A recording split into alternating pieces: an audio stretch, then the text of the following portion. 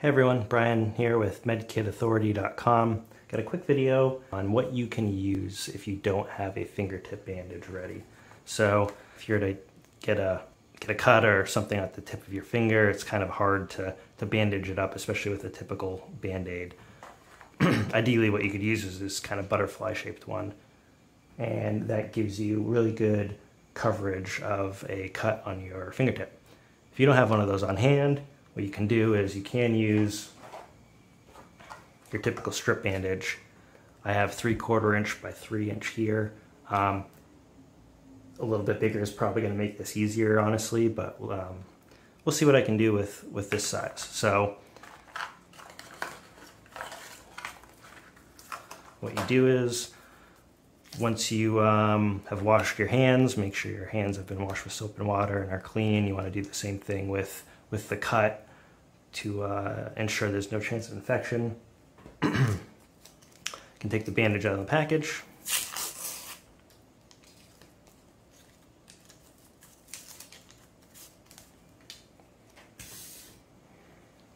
And then what we're going to do with the backing still on, you want to grab a pair of scissors and what you can do is you can cut up on either end and we want to get pretty close to the um, to the dressing as possible, but you do want to save a little bit of room um, between the edge of the dressing and the cut that you're making.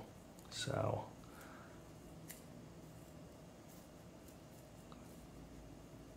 So you can see there, it's pretty, pretty close.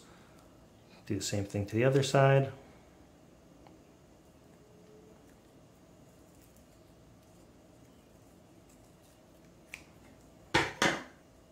So now we have four kind of separate legs. Um, next thing you'll want to do, you can take the backing off one side. Um, if you have Neosporin, if you if you want to use something like that, you can apply it now. I like to apply it to the the uh, dressing itself. Some people like to apply it to their their wound directly. I don't know that it matters that much, but you can do either one. then what you'll do is I usually take the side with the backing and it's just easier for me to kind of put it on on the outside um, like this. And then the first one's kind of the trickiest. So what you want to do is you kind of want to get it at about a 45 degree angle. I like to keep it above the knuckle line. So let's get this a little further up and then kind of doing something like that. You can always adjust it a little bit afterwards. Then what, what, what we're going to do is take the other side, kind of go at a 45 degree here, keep it above the knuckle line there. I'm not pressing down very hard in case I want to adjust these. but now you can take the backing off the other side and do the same thing. Take one leg, bring it across at like a 45 degree angle. Probably hard for you to see right now. Bringing it across that way want to do the same thing with this other side. That's hard. Something like that. So it's looking pretty good. You can kind of pull hard, a little harder on this one. And I think it works best if, if the adhesive bandage is on top of each other, it kind of sticks well. And then you kind of want to, let's see, pull that over a little. Push it all down and get it flat. Um, so that's pretty good. It's above the knuckle so I can still bend my finger fine.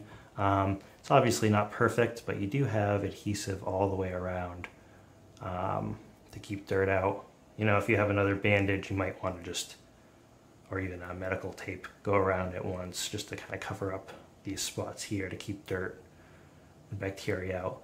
But um, it beats just trying to wrap around a regular bandage and then you kind of get a big funnel in the top here. Um, so this is this is one way to to do it if you don't have, like I said, your typical fingertip bandage.